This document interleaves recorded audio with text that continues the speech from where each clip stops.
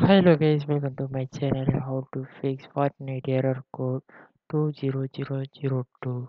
This is the game for the error for cloud not start the game. This is a basic problem then step by step follow to solve this problem okay.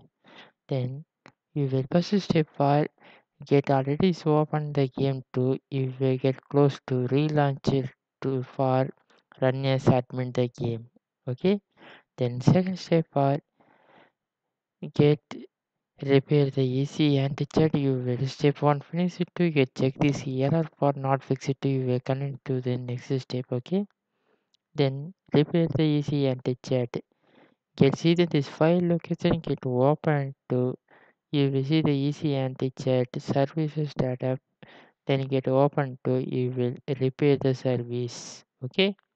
Then next step for verify the game files get open the launcher to see the Fortnite then right click to properties to get verify the files. Anyone file is used for crafted and anyone not downloading and anyone to you will verify this is a problem issues for solve it. Then next step for update the graphics driver this is one of the error issues then you will get open the device manager. You will see the display adapter. You will double click to see the graphics driver then right click to update driver okay? Then next step for update the game.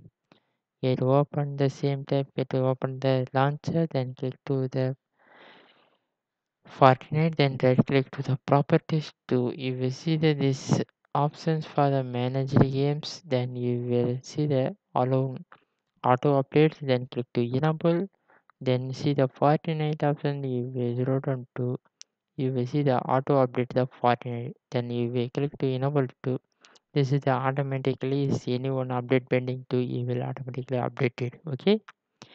Then this first step is finished you will get check this error for fix it to get enjoy the game or not fix it to you will pin the command i will tell the more steps to this is a problem for solve it.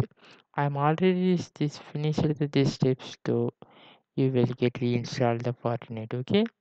Then thank you for watching